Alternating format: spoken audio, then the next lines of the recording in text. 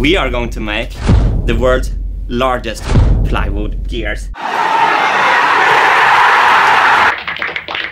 Let's begin with why the original marble machine. On this machine, there was a lot of things that failed, but the gears weren't one of them. The gears that we see here performed perfectly. 264 million views, that's pretty good.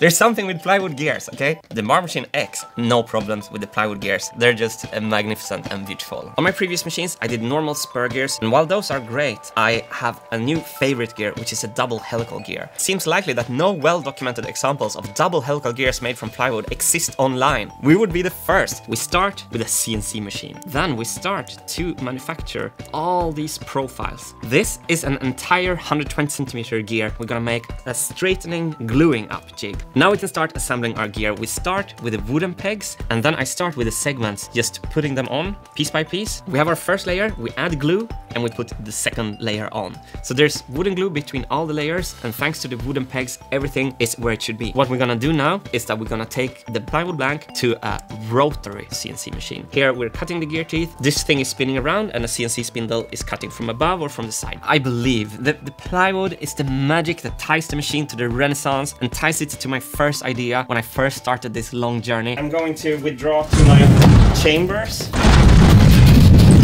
Ciao.